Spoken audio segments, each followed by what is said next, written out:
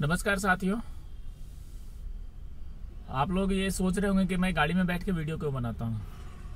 Actually workload बहुत ज़्यादा है, काम भी करना होता है बीच बीच में थोड़ा कुछ वीडियो बना के आप लोग को संदेश भी देना होता है, बातचीत भी करना होता है तो मौका मिलता नहीं है। तो ये सबसे बेटर है। गाड़ी के शीशे बंद करो, गाड़ी में बैठ के अपनी बात कर लो, अपनी काम कर लो।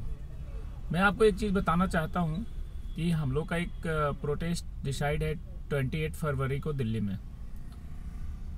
28 फरवरी को हम अपना प्रदर्शन करके ये डिमांड करेंगे कि अभी तक इसमें स्टेटस रिपोर्ट क्या है, किस विषय पे जाँच कितने दूर तक पहुँची है। जो हमें जानकारी ऑफिसर से चाहिए, वो जानकारी हमें आज तक नहीं मिली है। उस जानकारी के लिए अपनी डिमांड के लिए हम अपना एक प्रोटेस्ट 28 फरवरी को दिल्ली में करने जा रहे हैं। सुशांत के जितने भी फैंस हैं जो मुझे सुन रहे हैं, मैं उनसे ये अपील कर रहा हूँ, आप देश के किसी भी कोने में हो, अभी करीब 22 दिन के लगभग है, चार तारीख हो गया चौबीस दिन है तो आप दिल्ली आने की तैयारी करिए, एक साथ चलेंगे और एक साथ अपनी पावर अपनी आवाज़ हम उठाएँगे और हम अथॉरिटी से ये अपील करेंगे कि अब तो हमें कुछ जवाब दीजिए। कब तक हम शांत बैठे? सब लोग एक साथ, मजबूती के साथ अगर हम अपनी आवाज़ को उठाते हैं तो ये हमारे लिए, आप सबके लिए और हमारे सुशांत भाई के लिए एक बहुत ही बड़ी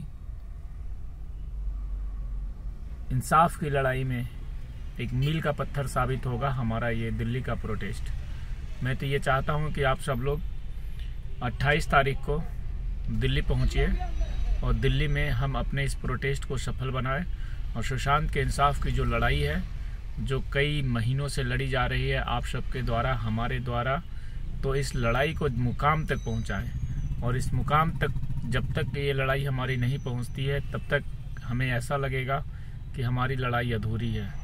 और अब समय आ गया है कि एक साथ एकजुट होकर के ग्राउंड पे उतरने का। तो अब ये भी देखना है कि क्या वास्तव में दिल्ली में लोग इकट्ठा हो रहे हैं देश के अन्य शहरों से या नहीं। बड़ा सवाल बनेगा और उसी दिन से 28 फरवरी के बाद से ही हमारे आंदोलन का ये रूपरेखा ये तय करेगा कि हम ग्राउंड पे भी लड़ाई लड़ें या हम केवल सोशल मीडिया पे लड़ाई लड़ें तो 28 फरवरी का इंतज़ार है दिल्ली में। आप सब लोग आइए और जम करके, मिल करके एक बड़ा आंदोलन करते हैं दिल्ली में। जय हिंद।